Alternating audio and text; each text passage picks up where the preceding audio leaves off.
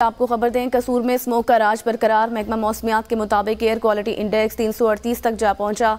Smoke के बाद शहरी मुख्तलिफ़ बीमारियों में मुबतला होने लगे। शुक्रिया, मैं आपको बताता चलूँ कि दूसरे शहरों की तरह कसूर में भी जो है वो फ़जाई आलूदगी में दिन ब दिन इजाफा होता जा रहा है। बात की जाए तो आज महकमा मौसमियात के मुताबिक जो कसूर का एयर क्वालिटी इंडेक्स है, वो तीन सौ अट्ठतीस तक जो है वो पहुँच चुका है, जो कि इंसानी सेहत के लिए इंतहाई ख़तरनाक हो चुका है। तो यहाँ पर फ़जाई आलूदगी में बढ़ने की वजह से हर दूसरा शहरी जो है वो मुख्तलि बीमारियों में मुबतला हो रहा है, जिसमें दमे की बीमारी सांस की बीमारी, फेफड़ों की बीमारी और हर दूसरा शख्स जो है वो बीमार जो बुखार में जो है वो मुबतला होता जा रहा है। जबकि कसूर में रोज़ाना की बुनियाद पर जो है वो फ़जाई आलूदगी जो है वो बढ़ती ही जा रही है। तो इस हवाले से तिब्बी माहरीन का भी यही कहना है कि लोग जो हैं वो एहतियाती तदाबीर पर अमल नहीं कर रहे। लोगों को चाहिए कि मास्क का इस्तेमाल जो है वो लाजमी करें ताकि बीमारियों से जो है वो बच सकें। इसके साथ साथ मैं आपको ये भी बताता चलूँ कि महकमा मौसमियात का ये कहना है कि कसूर में आइंदा आने वाले दिनों में बारिश का भी कोई इम्कान नहीं है। अगर बारिश नहीं होती तो फ़जाई आलूदगी मज़ीद बढ़ेगी